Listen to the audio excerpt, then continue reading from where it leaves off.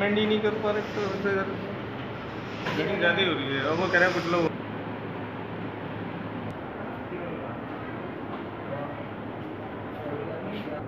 जो बेटा, हाँ, मतलब पूरा bleeding कुछ लगाया हुआ है कोई bleeding हो एक्सीडेंट केस है कैसे हुआ एक्सीडेंट मतलब मोटरसाइकिलों में हो गया आपस में आते जाते। किस चीज़ से लेके आए हो आप यहाँ?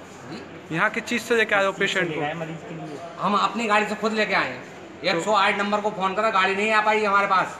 क्या कहा गाड़ी वाले ने? है? गाड़ी वाले ने उसने ये कहा कि गाड़ी में पंचर हो गया क्या हम नहीं आ सकते। तो फिर कुछ